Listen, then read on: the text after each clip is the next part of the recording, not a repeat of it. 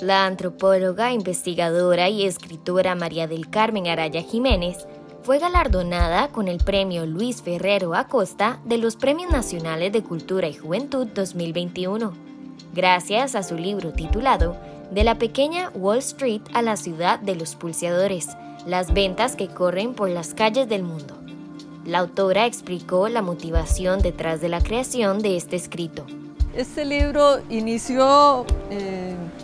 por una preocupación muy pequeña, básica, el odio, el resentimiento y la ira que recibía eh, las ventas ambulantes en Costa Rica por parte de fuerzas policiales, por parte inclusive de sectores de la prensa, algunos sectores de la sociedad civil y el Estado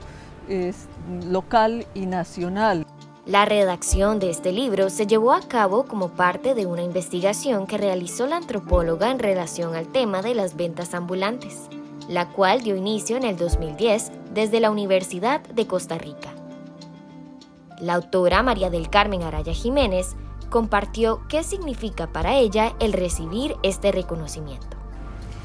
Este Premio Nacional de Investigación Cultural es una oportunidad y un reconocimiento.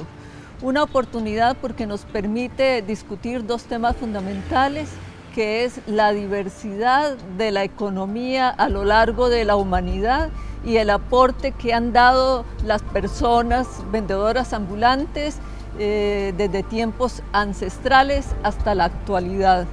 es una oportunidad también para discutir un, conflicto urbano de larga data que se da no solo en Costa Rica, sino en todas las ciudades de América Latina y gran parte de las ciudades del mundo, alrededor de la disputa del espacio público y alrededor del reconocimiento de la diversidad económica. El libro fue publicado en el 2021 y se encuentra disponible para la venta en la librería de la Universidad de Costa Rica.